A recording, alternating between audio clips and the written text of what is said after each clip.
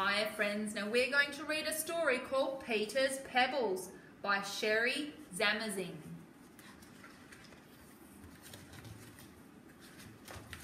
Peter's Pebbles. Peter loved collecting pebbles. Large ones, small ones, thin ones, ah. fat ones, round ones, flat ones. He painted his pebbles to look like all sorts of different animals. There's a giraffe, an elephant, a panda, a zebra, a monkey, a cheetah, a parrot, a kangaroo, and even a crocodile. One day, as Peter was putting his newly painted fish pebble on the shelf, he slipped and the pebble splashed into his fish bowl. Oh dear, I wonder what happened. Suddenly, there was a flash of light and a bubble and a fizz. Peter jumped back and saw a new colourful fish swimming around the fishbowl. Peter's pebble had come to life. Wow, if my fish pebble came to life in water, maybe my parrot pebble will come to life in the air, Peter thought excitedly. Peter opened his window and threw his parrot pebble out into the air. Squawk! With a swish and a swoop, Peter's pebble came to life. Peter then picked up his monkey pebble. Hmm, monkeys like bananas, he thought, so he put the pebble into the fruit bowl. In an instant, the fruit exploded everywhere. A monkey was swinging in the kitchen.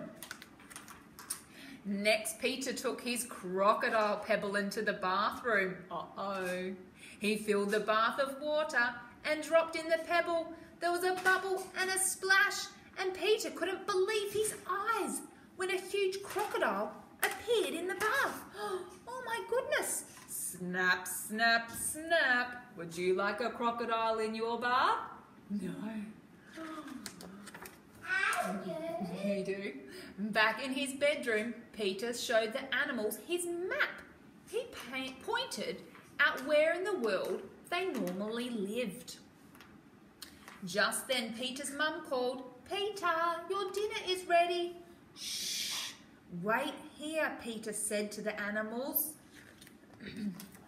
While Peter was downstairs, the monkey picked up the rest of Peter's painted pebbles and placed them on the map where Peter had said that they lived. Look, the kangaroos in Australia.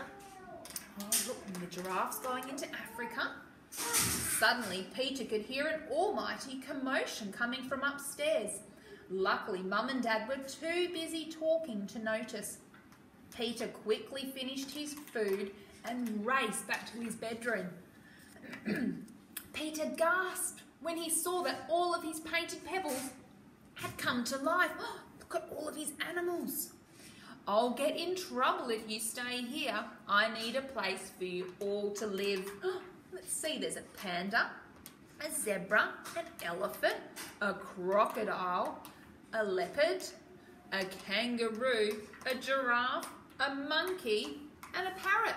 Can you see all the animals? Oh, let's see what happens next. Then Peter oh, had an idea.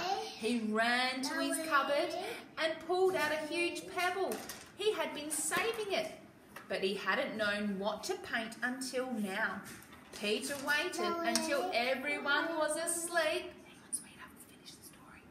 He waited till everyone was asleep and he crept downstairs and quietly to the beach. Peter climbed into his boat and together he and the animals swam, rowed and flew out into the ocean.